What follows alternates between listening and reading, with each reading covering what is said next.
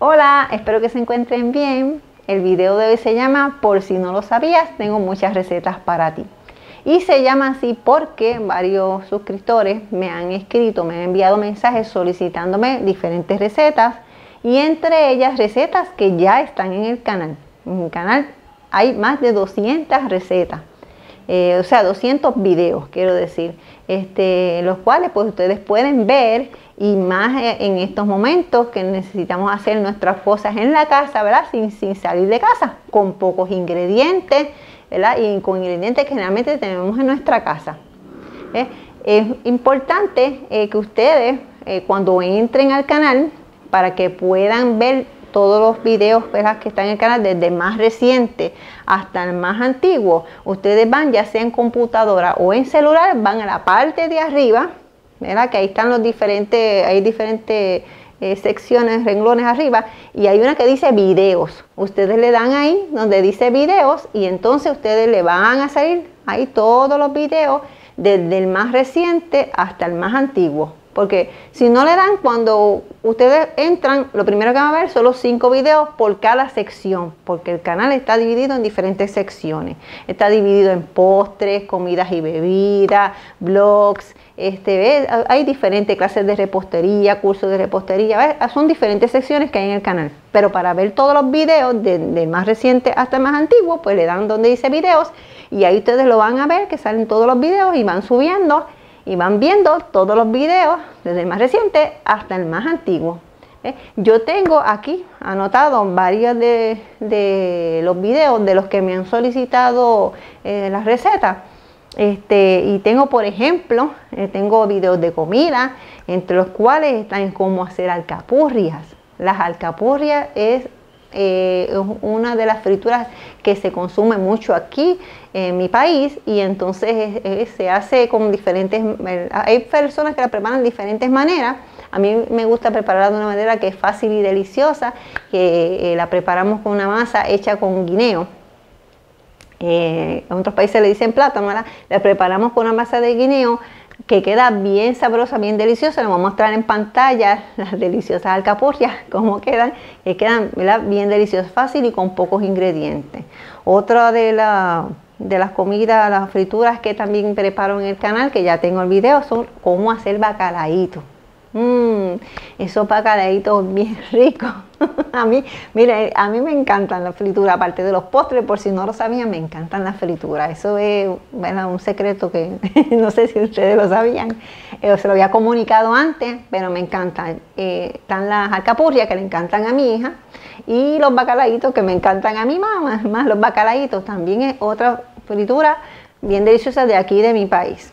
Eh, otra es los sorullitos de maíz. ¿Cómo hacer sorullitos de maíz? Esos sorullitos de maíz, miren, deliciosos, que alimentan, porque la harina de maíz alimenta eh, bien, bueno, bien rico, que, para que se lo, se voy a mostrar en pantalla para que lo vean.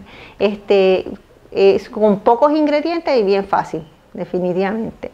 Eh, otra de las recetas es cómo hacer pastelón de plátano. Aquí se le llama amarillo. Cómo hacer pastelón de amarillo. Ese plato que se hace con, pues, con los con los plátanos, los plátanos que son amarillos, se hace con carne molida y entonces queda, miren, bien delicioso. También ustedes pueden hacerlo para una comida como complemento con su arrocito blanco, que también en el canal tengo cómo hacer arroz blanco con olla arrocera. Este, como complemento o con arroz guisado también, mm, pues miren, pueden hacer ese, como hacer pastelón de amarillo, que así como se le llama aquí en mi país. También tengo cómo hacer albóndigas, unas ricas albóndigas también que las pueden utilizar como entremeses, ¿verdad? Para picar o para complemento de alguna comida. También pues también de una manera fácil y rápida cómo hacer albóndigas también está en el canal. ¿Cómo hacer rellenos de papa? Ah, esos rellenos de papa también riquísimos. Eso es otra de las frituras también que se prepara mucho aquí. También, que también rellenitos también de lo que ustedes quieran, con carne molida, lo que quieran rellenarlo. También esos rellenos de papa de una manera fácil y rápida, delicioso, también están en el canal. Es cómo hacer un rico asopado de pollo ese rico sopado de pollo que, ay, que yo digo que eso da energía. si ustedes quieren comenzar el día con mucha energía, preparen ese rico sopado de pollo que la verdad que ustedes van, mm, además de que alimenta, porque eso alimenta definitivamente, preparen ese rico asopado de pollo. También tengo cómo hacer arroz con jamonilla, que ve, eso es otro plato también que se prepara aquí, bien rico, delicioso, arroz guisadito con su jamonilla. Y, es, en ese video yo les muestro cómo se prepara ese arroz con jamonilla y las jamonillas están de una forma especial. Así que vean el video, pasen y vean el video para que vean cómo es que está ese arroz con jamonilla, que esa jamonillita está de una manera especial. Entonces también tengo que eh, cómo hacer pizza de pepperoni y calzón. Cómo hacer esa deliciosa pizza como la preparan en las panaderías.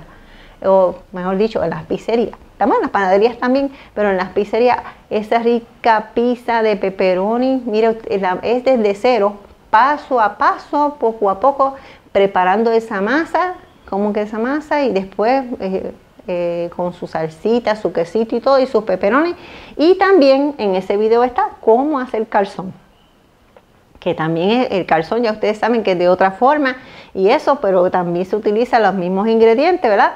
Para preparar ese delicioso calzón que a muchos nos gusta. Aparte de eso, también pues eh, hay, en el, hay un video de cómo preparar un aderezo para pizza, un aderezo de ajo para pizza o calzón que ese aderezo eh, lo puedes, eh, pues, como dije, para piso o calzón, pero también lo puedes usar para, para tostones, para, para otros, para otros, para complementar otras otras comidas, puedes utilizar ese aderezo.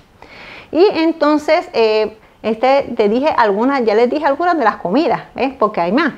También están los postres, ¿verdad? Que es lo que más me encanta, porque me encantan los postres. Está cómo hacer pan de maíz ese delicioso pan de maíz que viene bien a cualquier momento, cualquier hora, como desayuno, como merienda, para compartir en familia, para los niños. Miren cómo es el pan de maíz, pues también está en el canal. Ya como siempre digo, fácil, delicioso y rápido. Es cómo hacer pan criollo.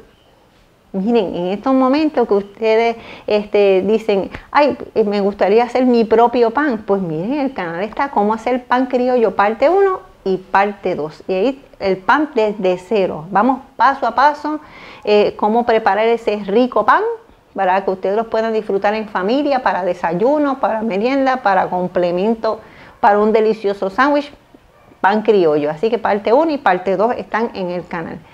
Entonces, además del pan criollo, también tengo cómo hacer pastelillos de guayaba. Eso es uno de los postres que aquí, de aquí también de mi país, de pastelillos de guayaba, que a muchas personas les encanta. A mí me, a mí me encantan también los pastelillos de guayaba, que se hace con esa masa de hojaldre eh, y entonces saben bien deliciosos de una forma fácil. Pues también están los pastelillos de guayaba, que de hecho en el canal eh, hay pastelillos de guayaba de diferentes formas. Está la forma tradicional y hay otros también que, sea, que yo los hice en forma de corazón también y lo pueden rellenar también con, ¿verdad? con otros rellenos.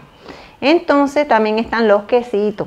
Mmm, dígame, ¿a quién no le gusta el quesito? A mí me encantan los quesitos también.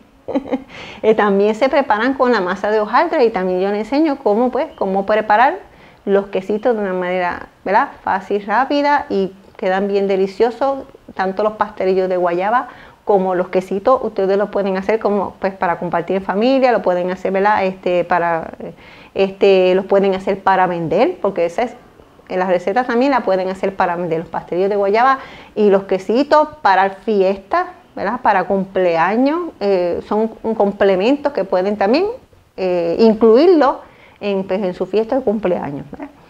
Entonces, además, este, tengo otros pasteles o bizcochos que he hecho en el canal, que si ustedes tienen fiestas para sus niños, que tengo, por ejemplo, el pastel del emoji del perrito.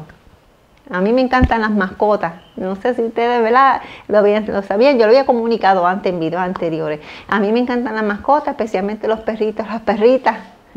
Este, y entonces pues yo también tengo en el canal cómo preparar un pastel de emoji de perrito que queda exactamente igualito como sale aquí en el celular, queda exactamente igualito y le enseño cómo se decora con pasta laminada. También tengo el pastel del M&M o M&M gigante.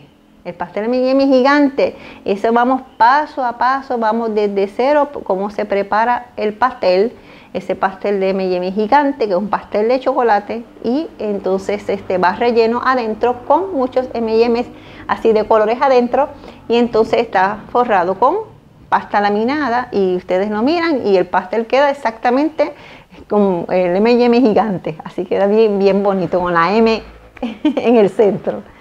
Entonces, también tengo un pastel de princesa para todas esas lindas niñas que le encantan las princesas. Este, pues también está el pastel de princesa, que voy enseñando cómo, cómo hace ese pastel de princesa y cómo lo vamos a decorar con la manga pastelera con frosting y queda bien bonita una, linda princesa, pastel de princesa. Entonces, este, además de ya le dije las comidas, los postres, entonces también tengo manualidades. estas manualidades, hace tiempo, hace tiempo que yo no hago manualidades, pero también hay manualidades en el canal, unas lindas manualidades, porque como por ejemplo, tengo cómo hacer un perrito en toalla un perrito, un lindo perrito así bien bonito que se hace en toalla, que si ustedes lo ven, ustedes dicen, adiós, eso cómo se hace con una toalla. Y mire, sí, se hace con una toalla y unos pequeños accesorios y queda un perrito así bien bonito que lo pueden hacer para decorar su cuarto, para decorar el baño, lo pueden hacer para vender, porque también pues, quedan tan bonitos así bien lindos que lo pueden hacer para vender, para decorar el cuarto de sus niños, bien bonito, puede ser la perrita y el perrito, bien bonito, así fue que yo lo hice en el video, ¿ves? También pueden hacer. Además de esos perritos en toalla de las manualidades, tengo cómo hacer unas hebillitas decoradas para el cabello, una hebillita bien bonita. Que mire que esa fue, le voy, le voy a ser sincera, esa fue de las primeras manualidades que yo aprendí cuando era, cuando era una niña. Aprendí eso, hacer las hebillitas decoradas y las decoramos con cinta, bien bonito. Le enseño cómo hacer el trenzado de la, de la, de la hebillita y quedan bien bonitas con unos lacitos y las decora. Bueno, la, la creatividad es, es, lo que va a diferenciar la creatividad de diferentes colores de cinta y lo que le, incluyas en la, en hebillita, eh, que para decorar es lo que va a hacer la, la creatividad la que tenga. Este, y, pues también te enseño paso a paso cómo es que se decoran las hebillas. Y además de eso, tengo como hacer una base para prendas y accesorios. Una base en lo que yo también voy poco a poco y te enseño cómo hacer esa base que queda bien bonito y ahí puedes colocar este, villitas y puedes colocar la, de la cabeza, la, eh, las diademas de la cabeza, puedes eh, decorar los lacitos, eh, colocar los lacitos, puedes colocar también las pulseras, las cadenitas, ¿ves? Los collares y todo eso, también paso a paso yo te enseño cómo hacer esa manualidad. Este, una base o stand, ¿verdad? Para prendas o accesorios. También, ¿ves? Y entonces, además, pues tengo blogs en el canal también, que tengo unos blogs que, que de hecho esos blogs eh, ustedes pueden verlos porque son blogs que pueden verlos en cualquier momento, son blogs bien entretenidos, bien chéveres y uno de ellos que mire, cada vez que yo lo veo yo no dejo de reírme porque es esos de esos videos que ustedes ven y lo pueden ver 10 veces, 20 veces, pasa el tiempo y vuelven, y vuelven y se ríen, que es el video de retos sin pulgares. En ese video yo salgo con mi hijo y entonces en ese video, como que, que, nosotros hicimos, ¿verdad? En ese, en ese reto sin pulgares, para tratar de hacer las cosas, cada uno de esos retos. Mire, ese, aparte de que ese video ese, eh, me lo disfruté un montón cuando lo estaba haciendo, pues cuando después lo veía, me lo disfruté más todavía. Así que lo invito, los invito a todos a, que vean ese, ese video de retos sin pulgares que yo comparto con con mi hijo, que ese video lo hice hace un tiempito atrás para que se rían un poquito y pues también se diviertan, porque en este canal no solamente se aprende, sino también pues se divierte y se entretiene. Así que porque este canal es para toda la familia. Y hay más otros videos en el canal que de belleza y otras cosas, pues que también pues yo comparto con ustedes, también que cuando comencé en el canal pues también eh, comparto otros videos. Así que los invito a que pues se den una vuelta por el canal, chequeen cada una de las sesiones, el canal está dividido en diferentes sesiones como le dije anteriormente, para que así puedan aprovechar este tiempo, puedan aprender, entretenerse, compartir en familia y ustedes hagan las cosas por ustedes mismos y entonces porque este, pues a mí eso me hace feliz. Así que gracias por acompañarme, por ver este video y pues nos vemos en el próximo video.